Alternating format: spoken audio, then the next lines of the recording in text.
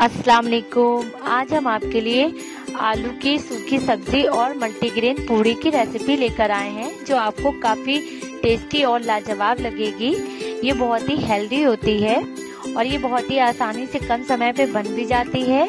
तो चलिए इसे फटाफट बनाना शुरू करते हैं। तो देखिए, यहाँ पर हमने कुछ सूखे मसाले लिए हैं। वन टीस्पून सौंफ हाफ़ टी स्पून जीरा one by four teaspoon मेथी दाना वन टी स्पून खड़ी धनिया पाँच से छह हमने सूखी लाल मिर्च लिया है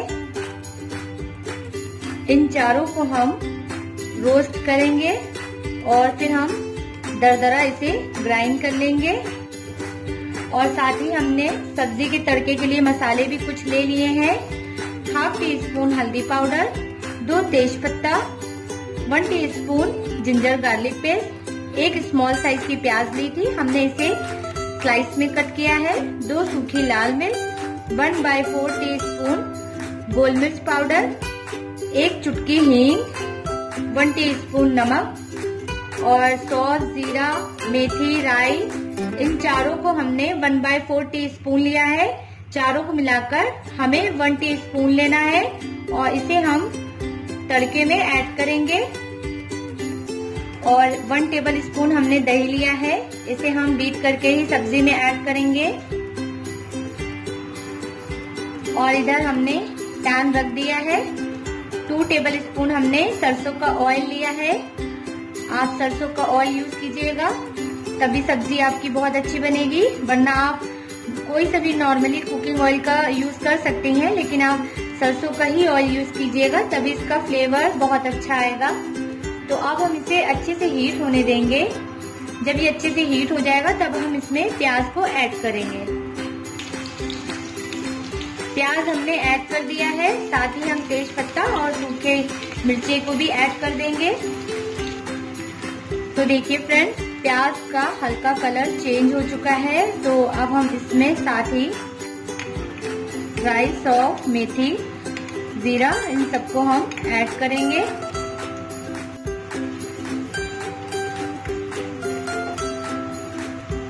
प्याज का अगर हम कलर डार्क कर देंगे तो सब्ज़ी का कलर काफ़ी चेंज हो जाएगा, जो दिखने में भी नहीं अच्छी लगेगी। तो देखिए, अब प्याज एकदम हल्की गुलाबी हो चुकी है तो अब हम इसमें उबले हुए आलू ऐड करेंगे। इसे हमने अच्छे से बॉईल करके और पील करके इसे हमने कट कर लिया है और इसे हम ऐड कर देंगे। और साथ ही हम नमक भी ऐड कर देंगे।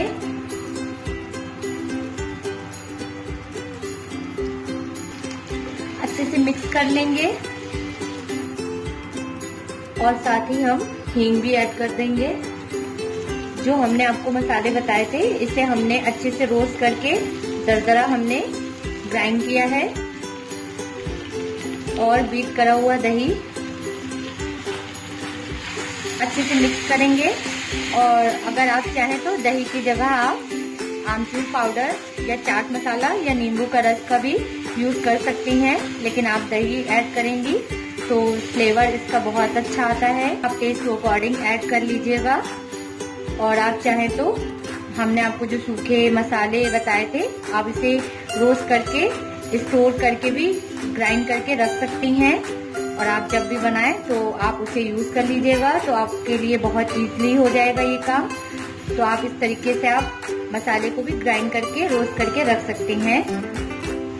तो सारे मसाले हमने अच्छे से मिक्स कर लिया है, और आलू भी बॉइल्ड है।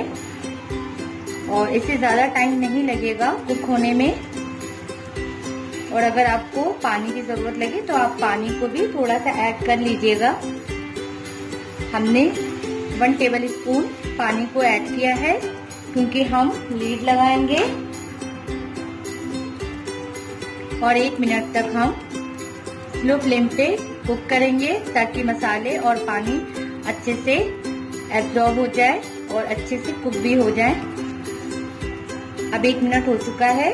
अब हमारी आलू की सूखी सब्ज़ी एकदम बनकर रेडी है और ये बहुत ही टेस्टी लगती है और आप इस तरीके से एक बार घर में ज़रूर बनाकर ट्राई करें। आप बाहर की सब्ज़ी, खाना भूल जाएँगी, ये बहुत ही अच्छी लगती है। वैसे तो आप इसे रोटी, पराठा किसी के साथ भी आप सर्व करके खा सकती हैं। तो चलिए, अब हम आपको पूड़ी का आटा भी बता देते हैं। और इधर हमने पूड़ी के लिए आटे को पहले से ही रेडी कर लिया है। और यहाँ पर हम मल्टीग्रेन का आटा यूज़ कर रहे हैं। इसमें हमने मक्के का आटा, चने का आटा, गेहूँ, जौ और सोयाबीन। इन पाँचों को हमने सेम क्वांटिटी में लिया है। किसी को हमने कम या ज़्यादा नहीं लिया है। वन टीस्पून नमक, हाफ़ टी स्पून अजवाइन वैसे तो अजवाइन ऑप्शनल है। अगर आपको नहीं पसंद है तो आप ना ऐड करें। और अगर आप ऐड करेंगी तो पूरी का फ्लेवर बहुत ही अच्छा आएगा। तो आप इसे हो सके तो स्किप ना करें। और वन टेबल स्पून सूजी भी लिया है। वैसे तो ये मल्टीग्रेन आटा बहुत ही हेल्दी होता है। इसमें काफ़ी मात्रा में फाइबर भी होता है। और आपको ये कॉन्स्टिपेशन में काफ़ी आराम भी मिलेगा। आप चाहे तो सिर्फ़ इसे रोटी भी बनाकर खा सकती हैं, या फिर पराठा या पूरी फ़िलहाल तो हम आपको पूरी बता रहे हैं। और वन टेबल स्पून देसी घी लिया है। सूजी को ऐड करने से पूरी काफ़ी क्रिस्पी बनेंगी। और घी को भी ऐड करने से भी पूड़ियाँ काफ़ी अच्छी सॉफ्ट और क्रिस्पी बनती हैं। तो हो सके तो आप देसी घी का ही यूज़ कीजिएगा। और अगर आप चाहें तो नॉर्मली ऑयल का भी यूज़ कर सकती हैं नो इश्यू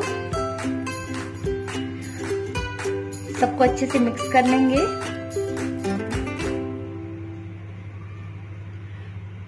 पानी हम ऐड करके एक सॉफ्ट हम डो तैयार कर लेंगे।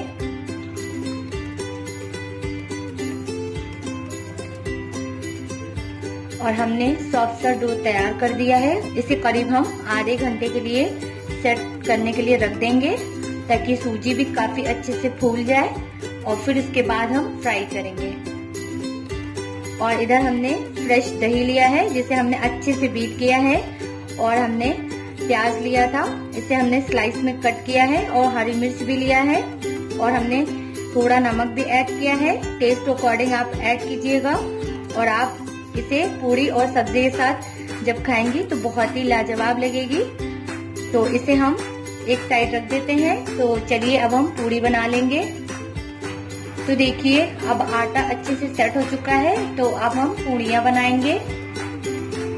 हमने छोटी सी लोई ली है। और अब हम इसे बेलेंगे हल्के हाथों से। तो देखिए, हमने पूड़ी के शेप में बेल लिया है और साइज़ भी हमने उतना ही रखा है और आप साइज़ को घटा या बढ़ा सकते हैं। और एक एक करके हम सारी पूड़ियाँ अच्छे से बेल लेंगे। और अब हम इसे फ्राई करेंगे। तो देखिए कितने अच्छे से फूल रही है।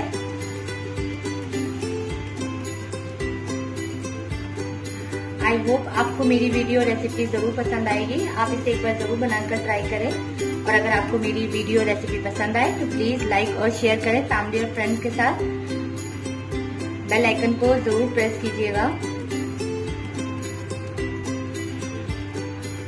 हल्के लाल होने तक के आप फ्राई कीजिएगा। और इसे हम एक एक करके ही फ्राई करेंगे थोड़े पेशेंस के साथ क्योंकि ये धीरे धीरे ही लाल होती है। गर्मा गर्म पूड़ियाँ सब्ज़ी और दही सलाद के साथ सर्व करके एंजॉय कीजिए।